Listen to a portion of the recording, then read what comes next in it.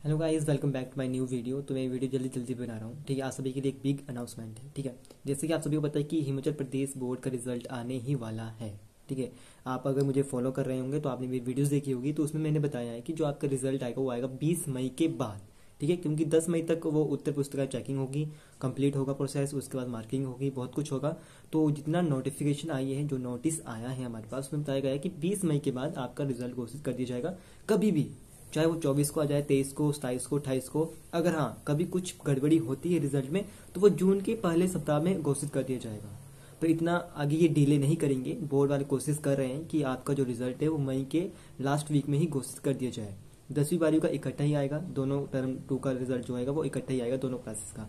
अब इसमें जो मेन पॉइंट वो क्या है? क्या बिग अनाउंसमेंट क्या है इसमें? नया क्या है? तो जैसे ही आप लोग देख रहे होंगे वेबसाइट्स पर अलग अलग नेट पर देख रहे होंगे, कहीं भी गूगल पर, कि direct link for twelfth class exam result घोषित हो गया। तो अभी भी किसी भी आपने फेक न्यूज़ पर क्लिक नहीं करना है, कहीं किसी भी लिंक पर क्लिक नहीं करना है। क्योंकि आपको पता है कि आप एच बोर्ड का रिज़ल्ट आने ही वाला है तो बहुत सारे जो फेकर्स होते हैं, वो न्यूज़ प्रोवाइड कराते हैं कि ट्वेल्थ क्लास का रिज़ल्ट लिंक डायरेक्ट लिंक ये घोषित हो गया, ये कब आएगा, ये। तो आपने फेक न्यूज़ पर विश्वास नहीं करना है, ठीक है? ना ही किसी पर क्लिक करना है। मैं आपको अपडेट देता रहूँगा।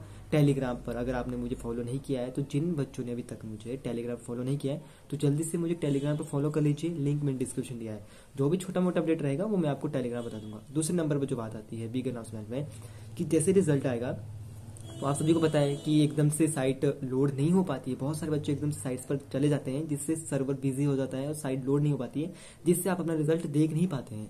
तो मैं आपको ऐसे लिंक प्रोवाइड कराऊँगा, जिनसे आप जल्दी अपना रिज़ल्ट देख सकेंगे। पर हाँ वो लिंक भी तभी जनरेट होते हैं जब रिज़ल्ट घोषित होता है। जैसे मान लीजिए कि अभी रिज़ल्ट घोषित हुआ तो उसके 10 बीस 25 मिनट बाद वो लिंक जनरेट होते हैं। और जो ऑफिशियल वेबसाइट होती है बॉस की, वो भी आपकी कुछ एक, दो घंटे बाद, तीन, चार घंटे बाद ही ओपन होती है, क्योंकि इतना रस होता है उसमें। इन सारे बच्चे जाएँगे हिमाचल प्रदेश के एक ही बारी तो कैसे लोड हो पाएगा? तो मैं ऐसे लिंक प्रोवाइड कराऊँगा, जो आपको टेलीग्राम पर ही भेजूँगा। तो टेलीग्राम को ज़रूर मस्ट ज्वाइन करके रखें। आपका बहुत बहुत उसमें हेल्पफुल होगी टेलीग्राम पर। बाकी रही बात, बाकी की रिज़ल्ट किस दिन आएगा, क्या तारीख होगी तो अभी जो आधिकारिक डेट है वो तय नहीं की गई है। अभी बस ये कहा गया है कि 20 मई के बाद आपका रिज़ल्ट कभी भी घोषित किया जा सकता है। तो इसलिए मैं आपको बोल रहा हूँ कि जैसे भी कोई अपडेट आएगा तो आप सबको सबसे पहले हमारे टेलीग्राम चैनल पर बता दिया जाएगा। और बाकी फेक न्यूज़ पर विश्वास नहीं करना है। मैं आपको अपडेट देते रहूँगा, उस पर ही विश्वास करना है। ठीक है तो मिलते हैं अगली वीडियो में। तब तक के लिए thanks for watching Vande Mataram.